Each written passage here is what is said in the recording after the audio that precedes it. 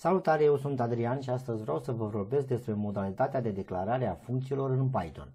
În programare în general și în special în programarea în Python ă, este nevoie de rularea mai multor linii de cod în mod repetitiv.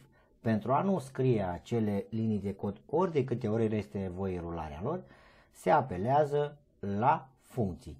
Declararea unei funcții începe cu cuvântul cheie def, care va spune interpretorului Python că urmează definirea unei funcții.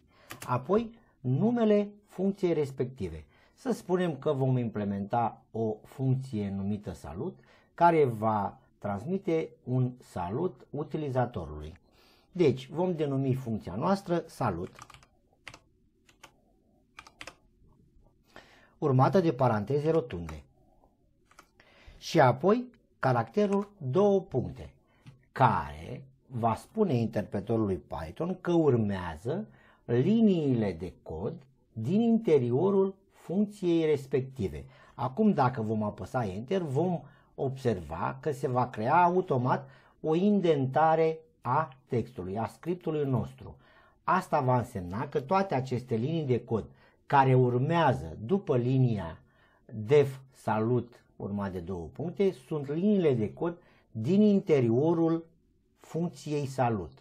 Această indentare este foarte importantă în Python deoarece transmite interpretorului Python faptul că aceste linii de cod fac parte din interiorul funcției.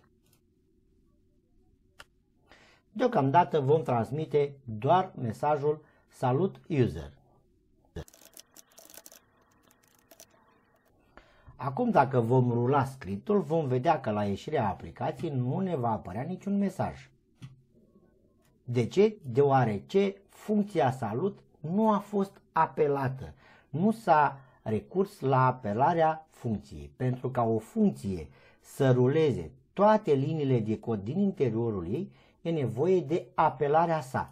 Apelarea sa se face, bineînțeles, cu numele său. De exemplu, dacă o să scriem salut urmat de paranteze rotunde, acum se vor rula toate liniile de cod din interiorul funcției. În cazul de față, doar linia de cod cu print salut user.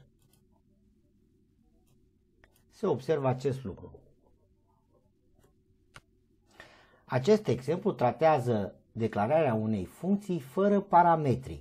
O funcție poate primi date pe care să le trateze în interiorul ei.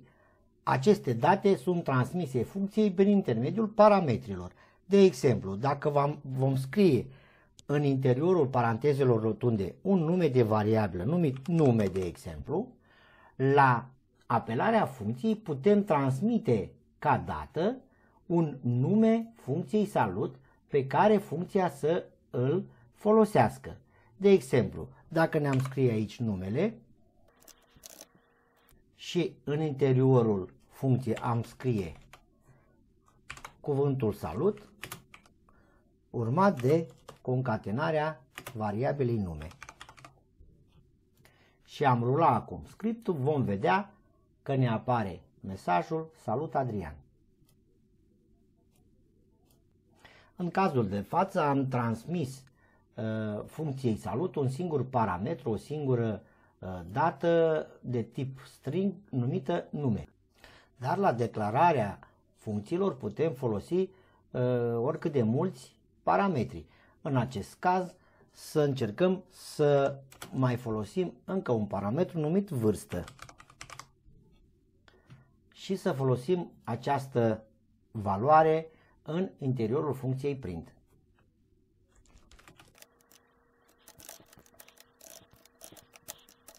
La apelarea funcției salut va trebui să transmitem acum doi parametri, atât numele nostru cât și vârsta.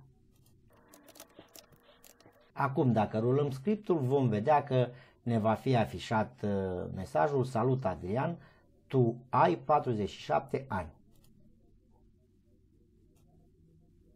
Se observă că am transmis ca parametru, ca al doilea parametru pentru funcția salut, un string, am scris numărul 47 între ghilimele. Dacă am șterge ghilimelele, ar trebui să apelăm în interiorul funcției salut la apelarea variabilei vârstă, funcția str pentru a transforma o valoare numerică în string.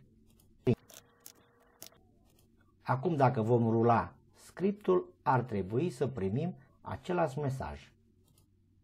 Se observă acest lucru. Acesta a fost clipul pentru astăzi. Eu am fost Adrian și până data viitoare îți doresc la revedere!